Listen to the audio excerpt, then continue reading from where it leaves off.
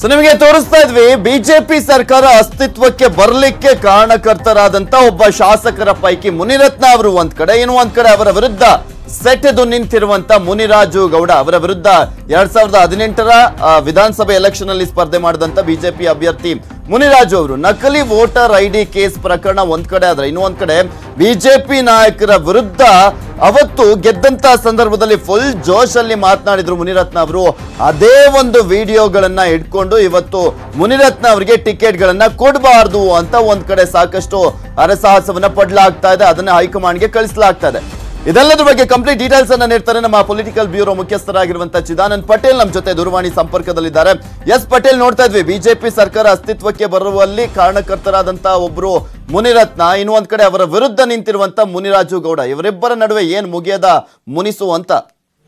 ಇದು ಮುಗಿಯದ ಮುನಿಸೋನಕ್ಕಿಂತಲೂ ಮುಗಿಯದ ಕದನ ಅಂತಲೇ ಕರಿಬಹುದು ಪೃಥ್ವಿರಾಜ್ ಹಾರ್ನಳ್ಳಿ ಯಾಕಂತ ಹೇಳಿದ್ರೆ ಈ ವಿಚಾರದಲ್ಲಿ ಮಂಜುನಾಥ್ ಅವರು ಕಳೆದ ವಿಧಾನಸಭೆ ಚುನಾವಣೆಯಲ್ಲಿ ವಿಜಯ ಸಂದರ್ಭದಲ್ಲಿ ಪ್ರಧಾನಿ ನರೇಂದ್ರ ಮೋದಿ ಮತ್ತು ಅಮಿತ್ ಶಾ ವಿರುದ್ಧ ಅವೇಳನಕಾರಿಯಾಗಿ ಭಾಷಣವನ್ನು ಮಾಡಿರೋದು. ಜೊತೆಗೆ ಬಿಜೆಪಿ ಕಾರ್ಯಕರ್ತರ ಮೇಲೆ ಕೇಸ್ ಹಾಕಿರುವಂತದ್ದು ಮತ್ತು ಅವ್ರ ಮೇಲೆ ಮುಂದೆ ಕೂಡ ಕಿರುಕುಳ ಕೊಡ್ತೀನಿ ಅಂತ ಹೇಳಿ ಓಪನ್ ಆಗಿ ಹೇಳಿರುವಂತದ್ದು. ಈ ಎಲ್ಲದರ ನಡುವೆ ಕೂಡ ಪ್ರಮುಖವಾಗಿ ನಕಲಿ ವೋಟರ್ ಐಡಿ ಪ್ರಕರಣ ಇಡೀ ದೇಶಾದ್ಯಂತ ಸದ್ದು ಮಾಡಿತ್ತು. ಅವತ್ತು ಪ್ರಧಾನಿ ನರೇಂದ್ರ ಮೋದಿ ಮತ್ತು ಸೇರಿದಂತೆ ಬಿಜೆಪಿ ರಾಜ್ಯಾಧ್ಯಕ್ಷ ಅಮಿತ್ ಶಾ ಕೂಡ ಇಡೀ ಪ್ರಚಾರ ಸಭೆಯಲ್ಲೂ ಕೂಡ ಈ ನಕಲಿ ವೋಟರ್ ಐಡಿ ಪ್ರಕರಣವನ್ನ ಪ್ರಸ್ತಾಪವನ್ನು ಮಾಡಿದ್ರು. ಲೋಕಸಭೆ ಚುನಾವಣೆಯಲ್ಲಿ ಕೂಡ ಪ್ರಸ್ತಾಪವನ್ನು ಮಾಡಿದ್ರು.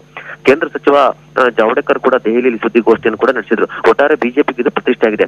ಇಂಥ ನಾಯಕನನ್ನ ಬಿಜೆಪಿ ಕಾರ್ಯಕರ್ತರ ವಿರುದ್ಧ ನಾನು ಕೇಸ್ ಹಾಕ್ತೀನಿ, ಕಿರುಕುಳ ಕೊಡ್ತೀನಿ, ಮತ್ತೆ ಐದು ವರ್ಷ ಕಿರುಕುಳ ಕೊಡ್ತೀನಿ ಅಂತ ಹೇಳಿಕೆ ಕೊಟ್ಟಿದ್ದಲ್ಲದೆ ಬಿಜೆಪಿಯ ರಾಷ್ಟ್ರೀಯ ನಾಯಕರ ವಿರುದ್ಧ ಅವಹೇಳನಕಾರಿಯಾಗಿ ಭಾಷಣ ಮಾಡಿದಂತ ಮಧುರತ್ನ ವಿರುದ್ಧ ಇದೀಗ ಬಿಜೆಪಿ ಹೈಕಮಾಂಡ್ ಮುಂದಿದೆ ಅಲ್ಲದೆ ಈ ಸಂಬಂಧಪಟ್ಟ ಎಲ್ಲಾ ವಿಡಿಯೋವನ್ನ ಅಂದಿನ ಅಭ್ಯರ್ಥಿಯಾಗಿದೆ ಅಂತ ತುಳಸಿ ಮುನರಾಜು ಗೌಡ್ರು ಅವರು ಕಳಿಸಿಕೊಟ್ಟಿದ್ದಾರೆ. ಅಲ್ಲದೆ ಅವರ ವಿರುದ್ಧ ಹದಿಮೂರು ಕ್ರಿಮಿನಲ್ ಪ್ರಕರಣಗಳನ್ನ ಉದ್ದೇಶಪೂರ್ವಕವಾಗಿ ಹಾಕಿದ್ದಾರೆ ಆ ಎಲ್ಲಾ ಮಾಹಿತಿಯನ್ನು ಕೂಡ ರವಾನೆ ಮಾಡಿದ್ದಾರೆ. ಹಾಗಾಗಿ ಮುನರತ್ನ ಅವರಿಗೆ ಟಿಕೆಟ್ ಕೊಡುವ ವಿಚಾರದಲ್ಲಿ ಹೈಕಮಾಂಡ್ ನಿರ್ಧಾರವೇ ಅಂತಿಮ ಅಂತ ಹೇಳಲಾಗ್ತಿದೆ. ಅದರಲ್ಲಿ ಪ್ರಮುಖವಾಗಿ ಬಿಜೆಪಿಯ ರಾಷ್ಟ್ರೀಯ ಅಧ್ಯಕ್ಷ ಅಮಿತ್ ಶಾ ನಿರ್ಧಾರವೇ ಅಂತಿಮ ಎನ್ನಲಾಗ್ತಿದೆ.